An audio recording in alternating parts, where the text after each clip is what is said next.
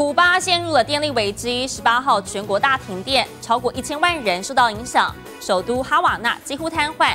主要的原因就是老旧的发电厂故障，再加上燃料短缺，当局取消所有非必要的政府服务、娱乐还有文化活动也必须要暂停。至于什么时候可以恢复正常供电，目前还没有时间表。古巴首都哈瓦那十八号的夜晚一片漆黑，只能靠着过往的车辆照亮四周。古巴电网全面瘫痪，受灾人口超过一千万。Muy fuerte, muy fuerte, muy fuerte. Esto está en decadencia.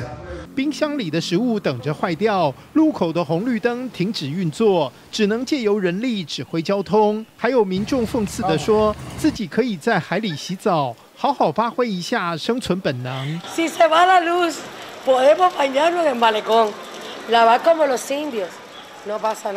古巴先前才经历连续数周的长时间断电，总理十七号宣布全国进入能源紧急状态。不料隔天，古巴最大的发电厂无预警停机。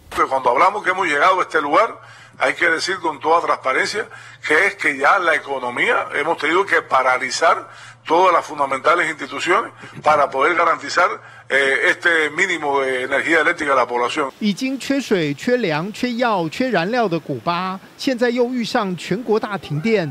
当局紧急宣布，只有国营的食品和医疗产业维持正常上班，其他所有非必要政府服务都取消。